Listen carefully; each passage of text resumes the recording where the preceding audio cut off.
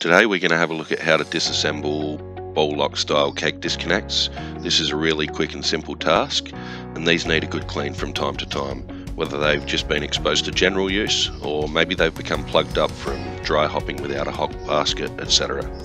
You can follow this procedure whether a disconnect's been removed from your kegerator or even if it's still attached to the beer lines. We've got black disconnects and we've got white ones black for liquid and white for gas.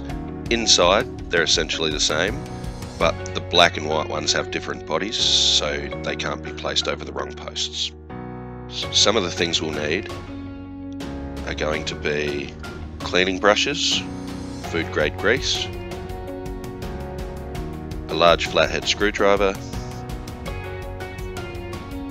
a cloth, some keg and line cleaner, and some sanitizer. So this is your basic disconnect. We're just going to insert our large flathead screwdriver into this slot on the top and then we're going to turn anti-clockwise to release the cap.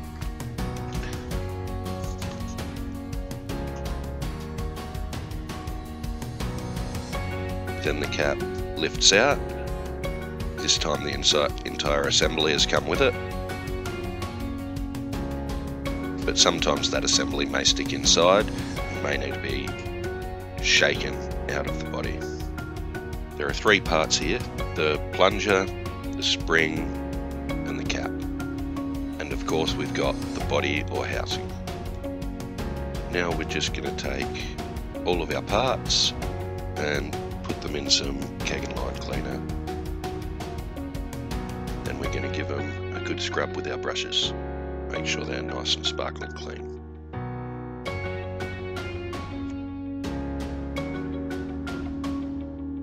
Make sure you clean all of the parts and check the condition of the seals while you're at it. If the seals are degraded, you can replace them, but it's often just as cheap to buy a new disconnect.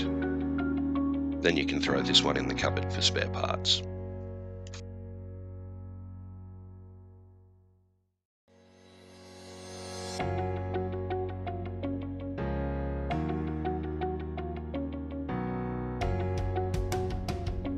After the parts have had a good soak, you can take them out and place them neatly on a towel.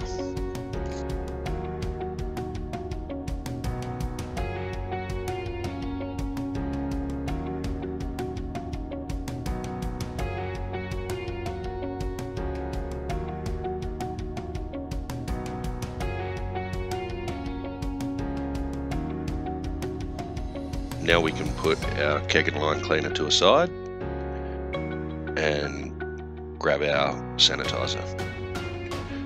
Throw all the parts in there and then just let them sit for a few minutes.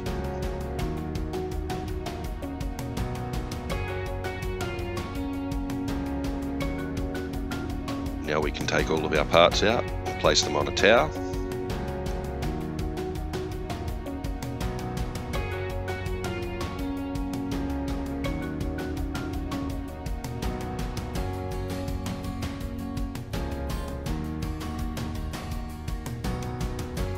dry them off.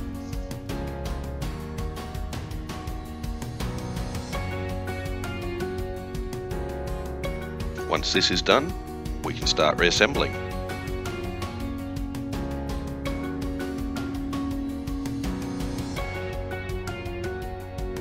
First we'll take our plunger and we'll put a smear of food grade grease around the seal.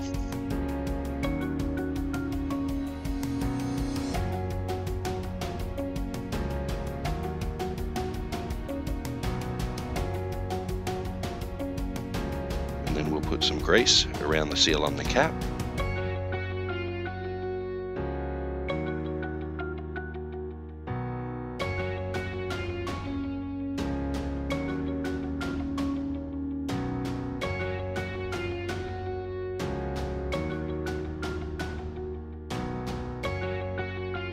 Next, we take our plunger and drop it seal side down into the body of the disconnect. Then drop the spring over the shaft of the plunger And now we can install the cap, taking care to line up the centre boss with the inside of the plunger spring. Now take your screwdriver and tighten the cap. And that's all there is to it. So in summary, we unscrew the cap, remove the spring and plunger, clean thoroughly with keg and line cleaner, neutralise the cleaner and sanitise, reassemble. Two, five, nine, ten. Two, five, nine, ten. That's a lot of bricks.